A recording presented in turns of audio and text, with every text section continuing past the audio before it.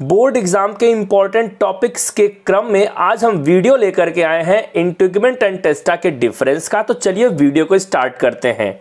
Integument it is the outer covering of a ovule जैसा कि आप डायग्राम में देख रहे हैं ओव्यूल की जो आउटर कवरिंग है, उसको इंटिगमेंट बोलते हैं। एंड वही testa is the outer covering of seed seed की आउटर कवरिंग को टेस्टा बोलते हैं।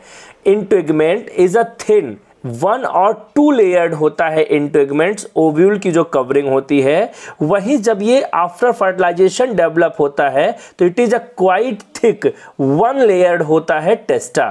And integument cells are living and testa के जो सेल्स होते हैं वो डेड होते हैं क्योंकि वो सीड की कवरिंग करते हैं एंड इंटेगमेंट्स में स्क्लेराइड एबसेंट होते हैं। जाइलम टिश्यूज का आपने पढ़ा है, फाइबर्स एंड स्क्लेराइड दो टाइप्स होते हैं। तो स्क्लेराइड स्टोन सेल्स एबसेंट होते हैं इंटेगमेंट्स में एंड वही टेस्टा की बात करें तो cells are rich in sclereid hard and stone cells present होते हैं टेस्टा में। Integuments is arises from the chalazal end of ovule ovule के दो एंड होते हैं डायग्राम में आप देख रहे हैं, एक होता है माइक्रोपाइलर एंड और एक होता है चैलेजल एंड तो इंटेगमेंट्स का जो डेवलप होता है जो अराइजमेंट होता है, वो कहाँ पे होता है? चैलेजल एंड पे होता है। और वही testa is derive from the outer integuments ovule after fertilisation it means जो टेस्टा है, जो सीड की कवरिंग है, वो आउटर इंटेगमेंट से डेवलप होती है ओव्यूल के.